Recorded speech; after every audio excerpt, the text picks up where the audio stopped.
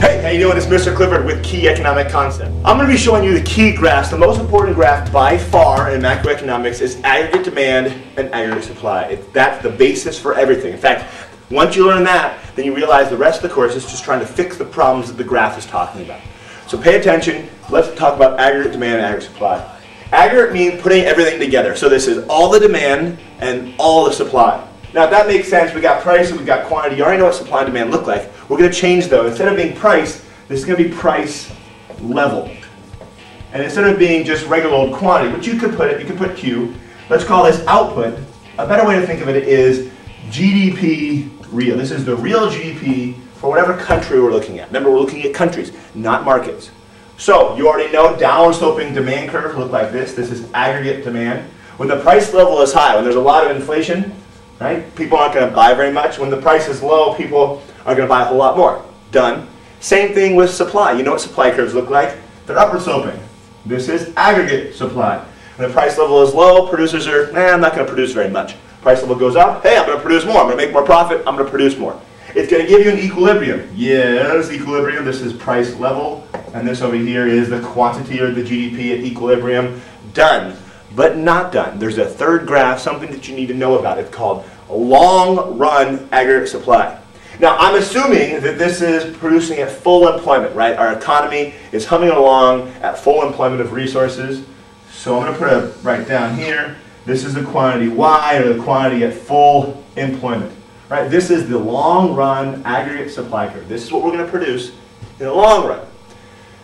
Now, that confuses the crud out of people. This is not a demand curve like the demand for insulin or something like that. This is a supply curve. And what it says, when the price level goes up, the amount of output right, at full employment is going to stay exactly the same spot. That's what it means.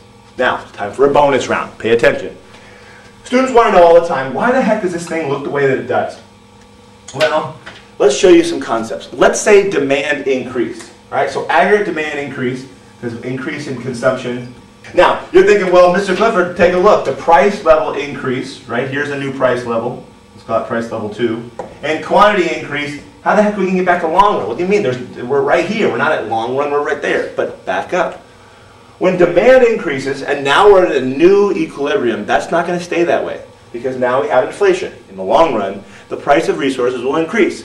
And if the price of resource, resources like labor increases, that means the aggregate supply curve is going to shift to the left. It's going to decrease. And that's going to put us at aggregate supply right here. So take a look. Here's what happened. We were at point A, point B, and then we ended up at point C. So aggregate demand increased.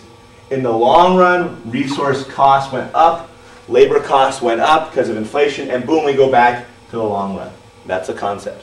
Now we're going to do it over again, except now with a recession. Your job right now is to figure out how, if there was a recession, right, if aggregate demand fell, right, aggregate demand now fell here, shift to the left. We were at this point, and now we're right here with a new price level and a new quantity, right? Question is, well, how are we going to get to the long run, right? How's this thing going to show the long run? Price level falls, right? Eventually, wages and resource prices will fall, and if they did, right, in theory, and this is the concept, but given enough time, aggregate supply will increase. With lower wages, a lower resource cost, producers can produce more.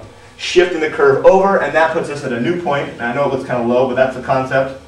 PL2, this is the new long run equilibrium. So again, just like before, we started at long run, point A, right?